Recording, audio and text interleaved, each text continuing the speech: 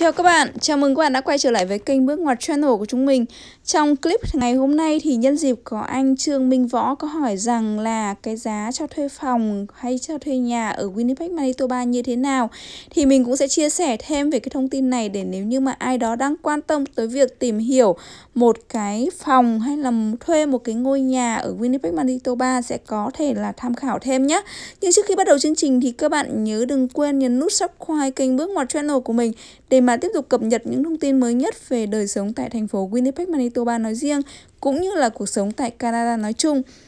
Thế thì nếu như mà mọi người đang chuẩn bị di cư sang Winnipeg, Manitoba để mà học hay là để định cư ấy, thì thông thường mọi người cũng sẽ tìm hiểu về cái giá cả cho thuê phòng hay là cho thuê nhà ở Winnipeg, Manitoba. Và đây cũng là một cái vấn đề mà mình rất quan tâm khi mà trước đây cái thời gian mà mình mới chuẩn bị sang bên ờ, Winnipeg, Manitoba để định cư. Thông thường khi mà mọi người sang Winnipeg, Manitoba là một cá nhân thôi Tức là một người đi sang để mà đi học thôi Thì mọi người sẽ thường quan tâm tới việc là thuê một cái phòng. Trong một cái ngôi nhà có nhiều phòng cho thuê. Và tại đó thì tùy cái khu vực mà các bạn sẽ có những cái giá cả cho thuê khác nhau. Ví dụ như là ở khu vực downtown chẳng hạn Các bạn học ở trường Red River College hay là trường đại học Winnipeg ấy, thì cái giá phòng ở quanh cái khu vực này nó sẽ rơi vào tầm độ khoảng 400 đô cho một tháng.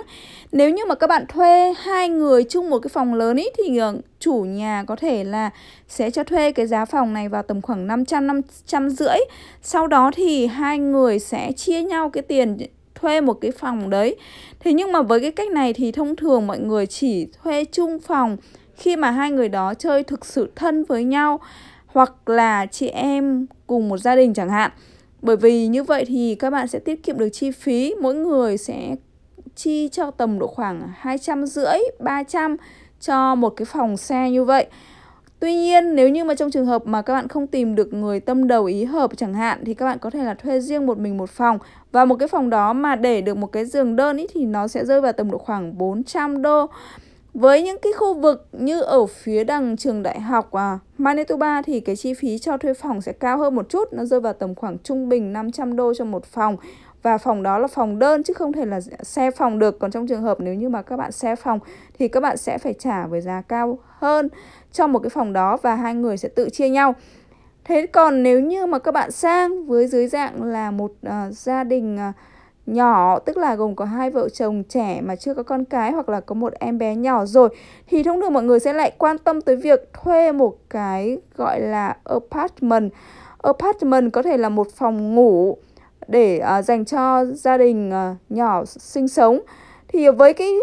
tiền uh, thuê cái apartment này nó sẽ rơi vào tầm độ khoảng quanh quanh 1.000 đô la cara cho một cái căn hộ mà có một phòng ngủ. Còn nếu trong trường hợp mà các bạn à, cần thuê một căn hộ có hai phòng ngủ chẳng hạn thì cái giá của nó sẽ nhích lên chút xíu là tầm độ khoảng 1.100, 1.200. Thế thì khi mà thuê một cái căn hộ uh, như vậy thì uh, nó sẽ có lợi thế là các bạn uh, sẽ thường là được uh, bao gồm luôn cả tiền điện nước và tiền hít và có những cái khu vực có những cái building thì sẽ không bao gồm như vậy thì các bạn nhớ lưu ý là khi mà xem giá tiền thuê phòng thuê căn hộ ấy thì các bạn chú ý xem là họ đã bao gồm các cái utility tức là điện nước gas chưa? Thế còn trong trường hợp nếu mà với một gia đình lớn hơn một chút uh, khi mà sang Canada để định cư và cần một cái ngôi nhà tầm độ khoảng 3 phòng ngủ chẳng hạn thì cái Ngân sách cho việc thuê một cái ngôi nhà như vậy nó sẽ rơi vào tầm độ khoảng 1.300 cho một cái căn hộ. Thế thì cái ưu điểm khi mà thuê một cái căn nhà riêng như vậy nó sẽ giúp cho các bạn riêng tư hơn. Tuy nhiên thì các bạn sẽ cần phải tính toán được rằng là nếu như trong trường hợp mà các bạn thuê một cái ngôi nhà như vậy, các bạn sẽ phải cộng thêm cả cái tiền gọi là tiền điện, nước, gas nữa